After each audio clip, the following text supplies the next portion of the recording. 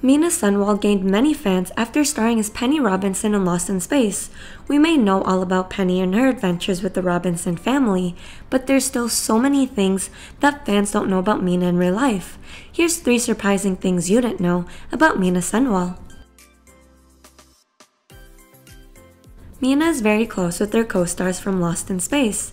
She shares a bunch of behind-the-scenes photos and videos with their Lost in Space co-stars, especially Taylor Russell and Maxwell Jenkins.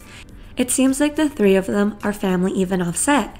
Mina and Ajay Friese, who plays Vijay, sparked dating rumors after posting many photos together on Instagram, but the two are just really good friends. She's also close with Ignacio Serricchio, who plays Don. She posts a lot of videos of them goofing around when the cameras aren't rolling. Mina is 20 years old, and her age in real life isn't too far off from how old Penny is.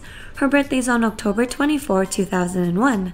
She was born and raised in New York City. She is half Swedish and half Italian. She also spent some of her childhood in France and Spain. She can speak French, Spanish, and Swedish.